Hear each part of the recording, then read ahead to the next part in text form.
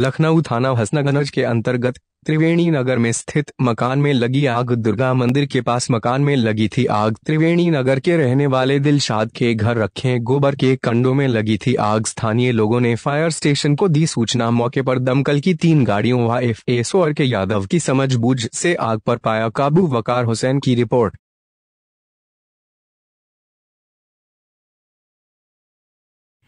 ये आग थी जो है लगी हुई थी त्रिवेणी नगर में, ये दुर्गा मंदिर के पास है। एक मकान में जो है तो कंडे रख रखे थे बहुत ज़्यादा मात्रा में टीन सेट के नीचे था वो।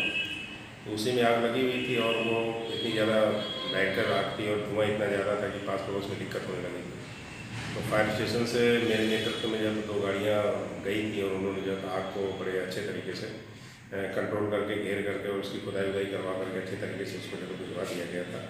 उसमें किसी प्रकार की कोई जनहानि नहीं हुई है, ना ही किसी प्रकार की कोई संपत्ति का क्षय हुआ है।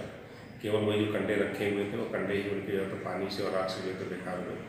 इसके अलावा कोई क्षति और कोई जान का कोई नुकसान?